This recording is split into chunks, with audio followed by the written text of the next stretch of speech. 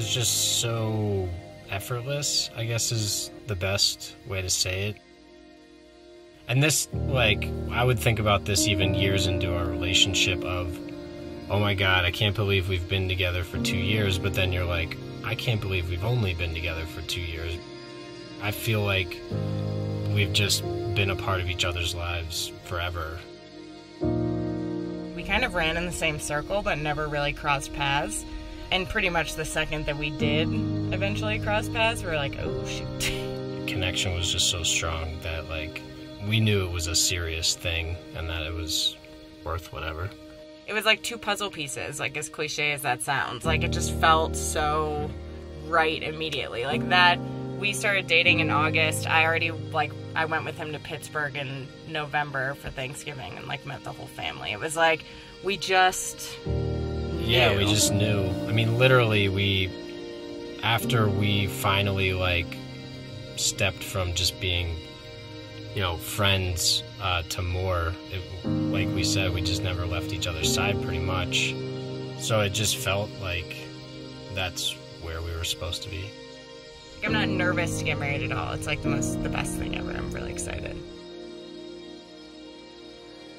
Good evening, everyone. Hi.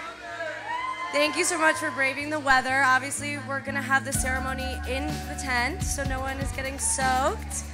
And it's to be great. So, woo! Thank you all so much for coming. I know Logan and Alexa are so happy to have everyone they love under one roof, so what a special night. Can we just give a round of applause for this badass couple that endured the rain and they're still smiling? And I, I really look around this room and everybody feels like family. It's so amazing how the two families have sort of blended together and all these friends have blended together. Logan, Logan, Logan. Wow, we got into a lot of trouble. Countless Phish shows together. I remember the look on Becky's face when we went to our first Phish concert on July 21st, 1998. Uh, she knew more about what we were getting into than we even did. But Logan is great. His laid back personality makes him always up for an adventure. He is a loyal person and an honest man. He values family and friendships. He is kind hearted and very often hilarious. And when you talk to Logan, you can always tell that he cares. I love you very much. I met Alexa for the first time at a Black Sabbath concert. Yeah! Rock and roll, baby! She can hang with the best of them and she's always down for a great time. And our girl pack, the Sexy 16, was formed. Alexa was definitely the queen of the pack. She has the same spunk that she has today. Some of Sexy Lexi. That's right. Needless to say, life is never a dull moment when she's around. This was also the time in our lives when everyone's, you know, kind of trying to figure it out, but lucky for Alexa, it's when she found her other half and the person who is the sweet to her spicy. Every relationship is a balancing act, and Alexa balances out Logan completely. Logan and Alexa met, and you could tell they were meant to be together. Always and forever. And I mean always. I literally don't think they have been apart for more than a few days since the day that they met many, many years ago. Logan, thank you for being the most incredible man to my best friend. You set the bar ridiculously high for all other men out there. It's actually kind of annoying. You are kind, patient, loving, thoughtful, the best dog dad, and there's no one else that I would rather share Alexa with than you. To a lifetime of moments and memories. May the two of you continue to grow, laugh, and love together. I look forward to all that lies ahead for you guys, and I love you both. So cheers.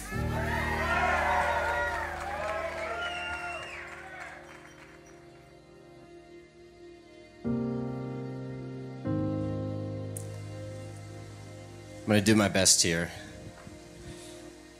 I've had some time over the last few weeks to really think about our wedding and what it means to me. It's easy to get swept up in the planning and party and overlook why we were doing this in the first place. At the core of it, I realize that today, and more specifically this moment, is my opportunity to express my devotion to you in front of the people that have shaped our lives. I've always felt that the one aspect in my life I'm completely in control of is my word and loyalty to those I love. Knowing that, here's my vow to you. I promise to give you my warmth when you are cold, to give you my comfort when you are sad, to give you my peace when you are angry, to give you my endurance when you are tired, and to give you my love always. So, to follow in my dad's footsteps in quoting Bob Dylan, now you know, everywhere on earth you go, you're gonna have me as your man.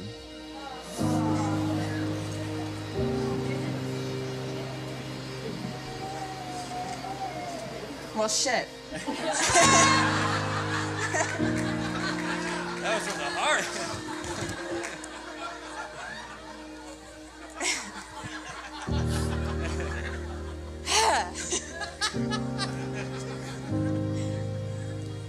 Logan, since my dad passed, it was so important for me to find someone that I knew in my heart he would love.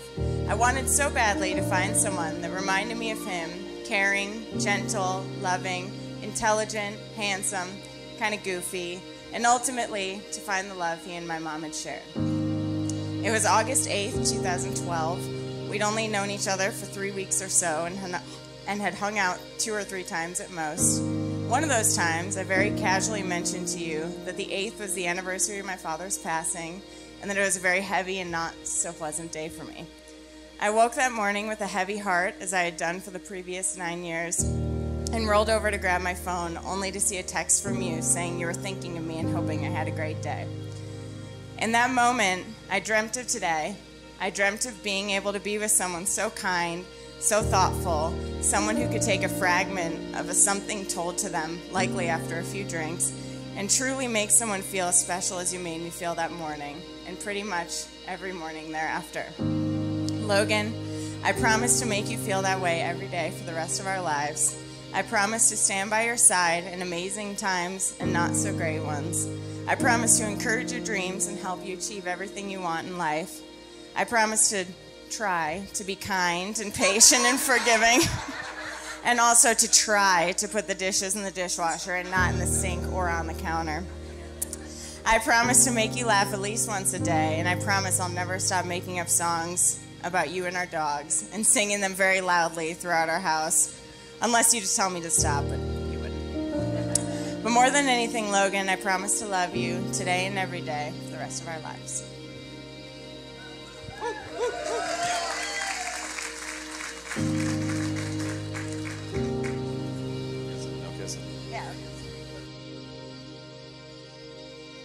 This would normally be the father of the bride giving this speech.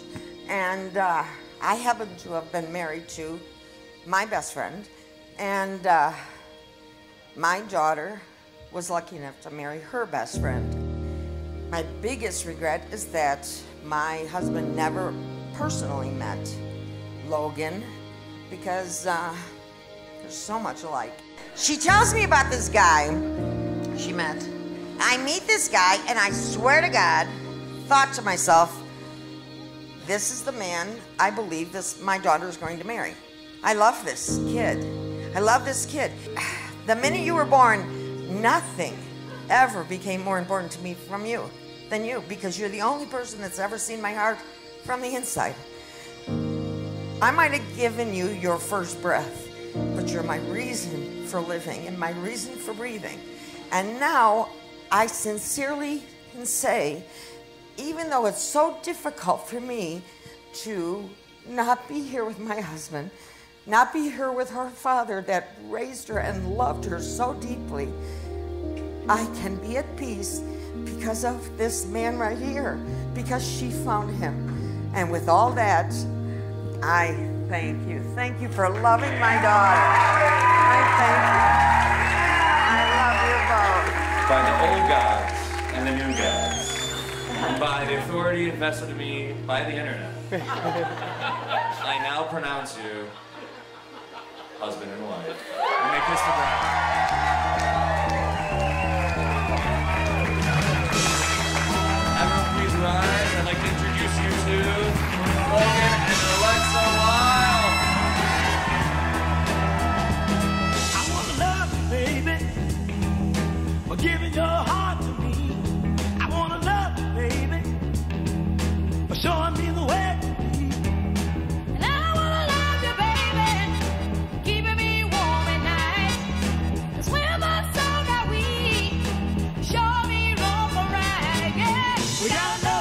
for me.